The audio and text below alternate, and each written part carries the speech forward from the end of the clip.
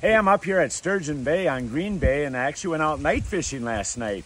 Uh, Dale Stroshine, who owns Sand Bay Beach Resort here, uh, and I went out last night. We got out about, oh, I guess 9 o'clock or so. We fished till like 4 in the morning. And we actually did really good. I think we had a dozen or 14 fish. Uh, no monsters, but a lot of really nice fish. Um, I'll just show you the lure that was the best one last night, and that is the hit stick.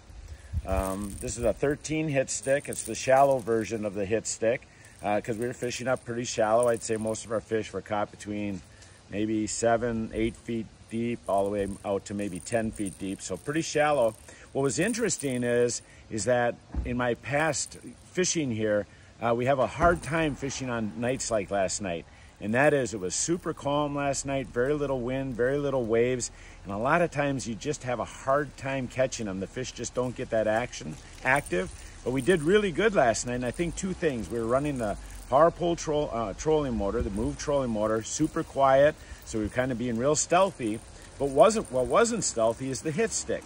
The hit stick is designed so that it's got a lot of rattles in it, and with those rattles, I think those fish hear it really, really well. So between the 13 hit stick, the best color was this Darnold, and the power pole trolling motor, and then putting the the the, uh, the lures out behind planer boards with the little firefly uh, lights on them, we were able to get walleyes last night. Hoping to catch some more tonight.